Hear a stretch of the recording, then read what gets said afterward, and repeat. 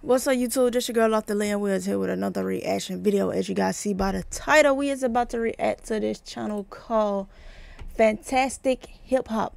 I'm finna go ahead and get into this video. It is called Y21 Savage. This Kendrick Lamar and I already apologize. When did 21 this Kendrick. And then I already apologized. I guess he finna tell us right here. So before I get started, go ahead and like, comment, and subscribe. Leave down below what you guys think. And hey, let's see what happened with 21 and Kendrick. Let's see what he got to say. We is on the road to 13K, so hit, let's hit that 13K subs, you feel me? Let's run it up. Continue to run it up. Thank you guys for the 12K. But we is on the road to 13K, so let's get straight into it. Let's get it. Let's go.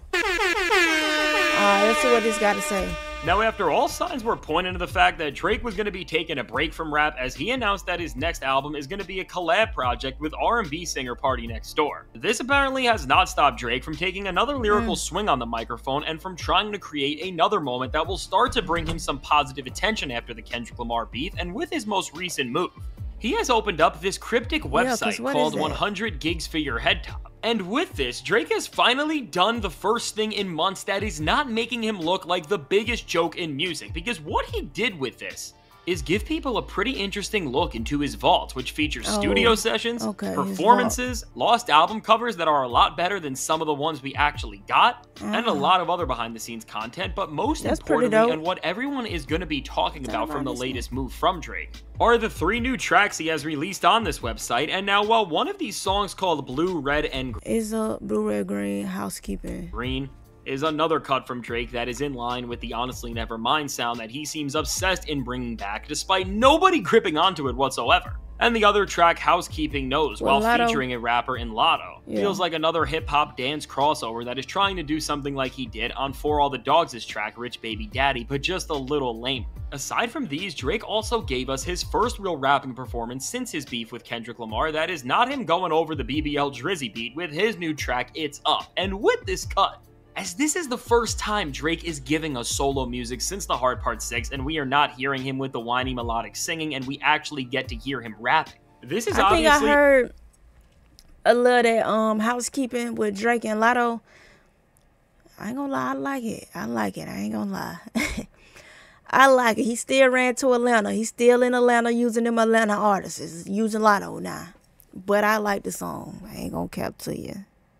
I still look at Drake sideways, though. A very important moment, and now with the stakes this high, for a few hours, this track actually did something good for Drake as it showed off a version of him that sounded more energized and charged up than ever. And in addition to Drake sounding like he actually can stand on his own two feet after this beat for the first time with features from both Young Thug and 21 Savage Young on Thug 21. Drake was able to boost back Still up some of the credibility he lost during the beef, as with two rappers who Kendrick accused him of biting off from still standing by his side. With both Savage and Young Thug, it was bringing Drake respect that he otherwise simply could not get on his own, and beyond just this, in his verse, 21 Savage alludes to some very recent ideas, such as that the industry has turned on Drake, but that he still has his back, and specifically, he made a series of bars that were subliminally dissing Kendrick Lamar, which, as he said, them people be lying, same people be dying, and they never post. No rap cap come out my mouth, made a couple songs think he hot now. Hit is up, he think he Pac now. And now with 21 coming out and hmm. seemingly mm. calling out Kendrick Lamar, while these disses are not anything ground shaking, this was a powerful moment for Team Drake because it was showing that despite what Kendrick said on Not Like Us and despite how many people have turned on Drake, Rappers as respected as 21 Savage are still standing by him and calling out Kendrick Lamar for doing something that they didn't like. And now, as this narrative began to go around the internet and people were talking about these lyrics from 21, when DJ Akademiks went on livestream to talk about these new Drake tracks, he went on to say that he spoke to 21 Savage's manager and he tried to clear the air and say that these lyrics were not about Kendrick Lamar. Mm. 21 manager confirms he did not diss Kendrick Lamar in the new Drake song is up. Yeah, you better not this. Uh, you better not this, Kendrick. You don't want that smoke. Twenty one. Twenty one do not want that smoke. And while Ak was trying to push people into believing this, when you put everything together, you can see that this is a sheer and utter lie on the end of Twenty One Savage's team, and it is exposing a larger problem in the rap world currently. Which is that everybody is not even just scared, but terrified of Kendrick Lamar. And now with the public hyper fixated on this situation well, and knowing where all the attention in the rap game is lying, yeah. what's happening is that now rappers are sending out their usual sneak disses at other rappers because, as we all know, Hip hop is a competitive space, and with mm-hmm. these rappers competing for the same fans, attention, and of course, dollars, people are not gonna always like each other. But at this moment, where we all know where everyone lies and who is an enemy of who because of a feud involving so much of the genre has boiled up. Rappers can no longer get these sneak disses off that cater to their own ego and silently target their rivals out without fans figuring who they are about, and this has caused multiple rappers to spiral out of control, and from Big Sean a few weeks ago, who pretty much ended up getting his album leaked because he tried to dodge taking mm. accountability on his obvious disses about Kendrick Lamar, to 21 now. We are seeing mm. more than ever that Kendrick Lamar really is the boogeyman in hip hop because at this moment where most listeners can figure out what is going on. As soon as somebody gets these allegations of dissing Kendrick Lamar, we are seeing rappers fold faster than ever and just to folding. folding. You do not want that. Prove the point that 21 was sneak dissing Kendrick. Let's just look further into this situation to fully grasp everything and see how ridiculous it is to refute these claims. Now, first off, I think we have to note that with this website that Drake has put out, in of itself, we can clearly see that this song was uploaded after the Kendrick Lamar beef went down, so just off this fact, we know that this is being put out on Drake's end to represent his brand and the people around him after everyone has already heard tracks like Family Matters and Not Like Us. And this is abundantly clear from the fact that some of the dates on his website go all the way back to 2018, and this one is very recent.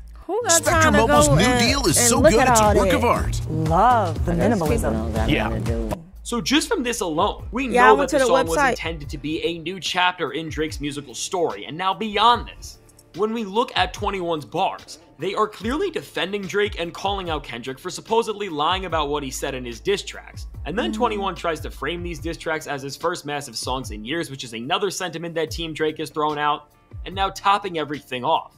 As 21 literally goes on to compare who he is talking about to thinking they are Tupac, after Kendrick right. didn't just defend Tupac and use him as motivation to defeat Drake, but then paid homage to him you directly through his outfit at the Pop Out concert and has pretty much now been appointed as the king of the West Coast, greater than any other rapper since Tupac know he talking about Kendrick, but Parallels from what 21 is saying are abundantly obvious, and it is really getting tiring that um, these rappers and their teams are trying to downplay their lyrics because by doing this, it is telling us that 21 Savage will just say anything to pad out a runtime of a verse, which then takes away from one of his biggest selling points as an artist, which is his realness, which is ridiculous, and again, goes against everything hip hop as an art form stands for on a fundamental level.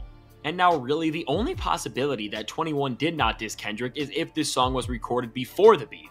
Which, while that would be a coincidence if 21 said this, I, I doubt this is the case because 21's manager said a few things to DJ Akademiks about this song and did not once state that it was recorded before all of this, which would have been the easiest way to avoid any controversy and shut these mm-hmm. rumors down. You know Even regardless of all of this. What's not a coincidence is that Drake released this very song and verse out of all of the unreleased material he has. Because Drake definitely knew that beyond the message it sends from having 21 on the track, especially to other artists that he is still beefing with like Future and Metro Boomin, having and him allude so clearly to what sounds like everything that went down with him and Kendrick. He dropped he dropped these songs because it got Future, I mean not Future, but it got uh 21, Young Thug, and Latto. I think he said he run to Atlanta for a check balance. All the Atlanta artists, he he yeah he dropped them them three songs on purpose. Said, "Hey, Atlanta still rock with me. What's up?" will make Drake look stronger by having another rapper lie out on the line for him. So either way, when we look at this situation, this was either 21 Savage straight up dissing Kendrick, or Drake using this as a chess move against Kendrick Lamar and the entire rap world for that matter, and regardless of the actual intention, which we may never know. Either way, we have seen another rapper, whether by accident or intentionally from 21 himself, diss Kendrick Lamar, and as we have already seen these claims pretty much be redacted on 21's end. Most pivotally to everything, this has already backfired on Drake because where he finally made a decent track that kinda did something, now he just looks even more pathetic, and so does 21 Savage. Because if we are in a rap world where rappers say things that clearly make sense about a situation that we can all understand, mm-hmm. because as Kendrick says, the audience is not dumb. We can figure out what these lyrics mean most of the time. And then the rappers are telling us otherwise in what seems like full on fear for Kendrick. At this point, Kendrick's victory is only getting stronger because it is showing these other rappers literally folding in on their own words, which, while being pathetic for them, only makes his presence as the boogeyman even more real.